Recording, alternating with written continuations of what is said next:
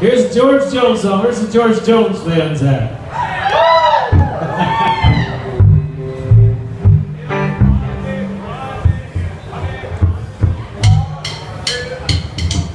Thank